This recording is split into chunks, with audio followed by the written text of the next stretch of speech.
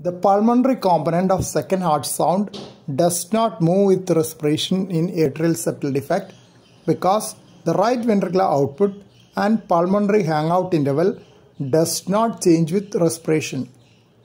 Pulmonary hangout interval does not change because the pulmonary circulation is already overloaded by the left right shunt. Right ventricular output does not change because the change in left to right shunt with respiration balances the change in right ventricular inflow due to change in venous return. In inspiration, when the venous return increases, left to right shunt across the atrial septal defect decreases and vice versa. This is the mechanism of wide fixed split in ASD. The split is wide in ASD because the right ventricular emptying is more prolonged due to the volume overload.